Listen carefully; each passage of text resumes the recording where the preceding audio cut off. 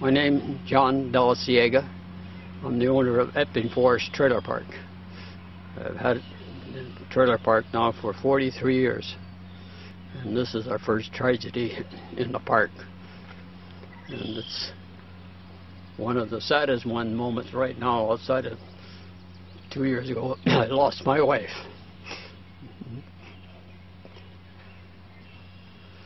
So I'm really real sorry for the, the, the one boy and the wife is left behind.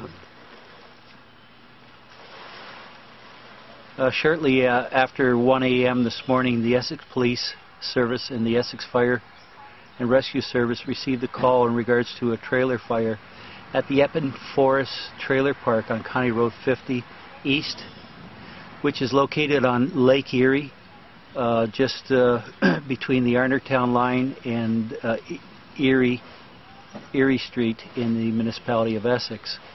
Uh, on police arrival, the uh, fire uh, on police and fire arrival, the fire was put out and the trailer appeared to be destroyed. And one deceased was located at that time.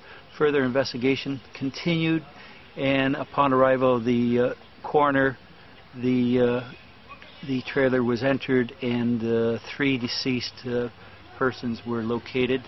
one uh, adult person and two uh, children. Uh, identities at this time are are not known. autopsies will have to be done later on this afternoon.